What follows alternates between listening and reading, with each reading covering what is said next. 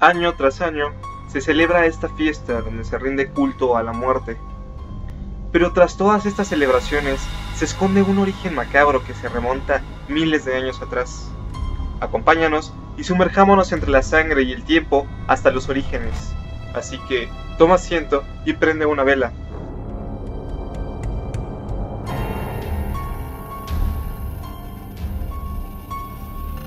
El origen de estas celebraciones viene de los celtas, hace ya más de 300.000 años antes de Cristo. Los celtas eran una sociedad muy apegada a su religión.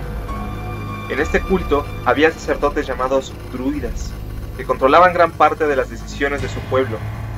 Los druidas adoraban y servían a Samaín, dios de la muerte, y cada 31 de octubre los druidas celebraban la víspera del año céltico en honor a Samaín. Esta celebración duraba una semana, empezando el 31 de octubre y finalizando con su fiesta máxima, la fiesta de los muertos, que daban inicio al nuevo año celta. A lo largo de estas fiestas, los druidas creían que los muertos regresaban a sus antiguos hogares para visitar a los vivos. Pero si no se les proveía de comida, entonces se tornaban malvados. Se creía que podían conspirar toda clase de tragedias para dicha familia. ¿Te suena, verdad? Bueno, pues ese es el origen de Treta o Truco y de la ofrenda de muertos.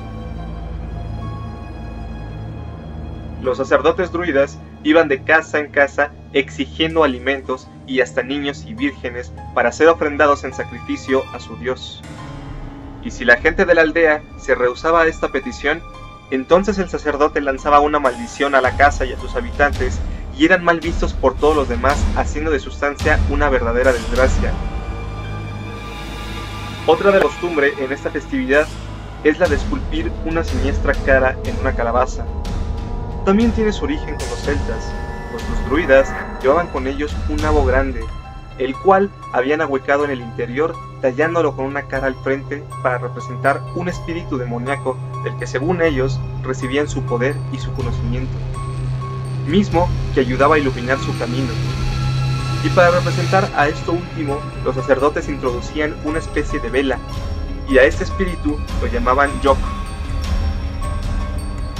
Y cuando estas prácticas llegaron a Norteamérica en los siglos XVIII y XIX, los colonizadores sustituyeron el nabo por una calabaza, y le dieron el nombre de Jack o Lantern, o linternas de Jack.